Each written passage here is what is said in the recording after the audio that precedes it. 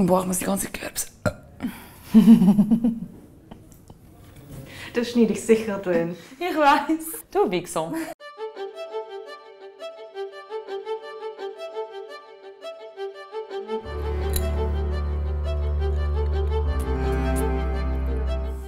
Hallo. Nein. Hallo.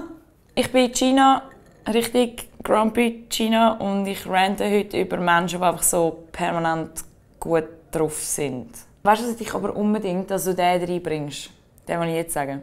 Grundsätzlich finde ich ja, dass jede Pff, Nein, warte. Grundsätzlich finde ich ja, dass jeder Mensch kann machen was er will, weil jeder ist eine freie Maus. Aber es gibt doch so die Art von Menschen, wo dann einfach so permanente, oh, verdammte Scheiß Sonnenschein. Das ist nicht echt, das ist nicht cool, das ist nicht der Mensch, den ich will spüren Ich habe zwischendurch auch mal meine schlechten Tage, wo ich nicht so gut gelaunt bin. Oh, what a surprise! Und du kommst dann so irgendwie ins Büro rein und dann kommen so Menschen rein, wo sie sind, hey, wie geht's dir? Das ist die Stimme, die ich einfach aufsetze, um so ein bisschen fröhlicher wirken, als ich eigentlich bin.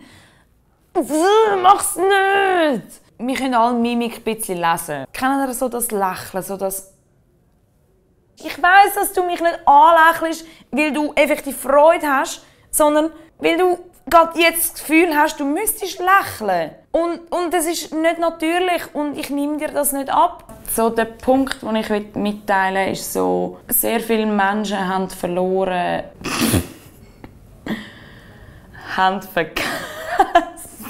Sehr viele Menschen haben vergessen, real zu bleiben. Es sind einfach euch selber. Es ist im Fall okay, mal sich zu. Das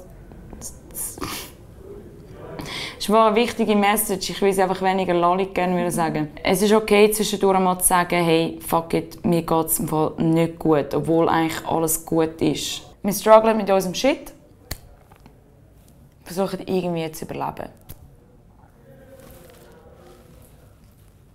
Können wir jetzt abstellen?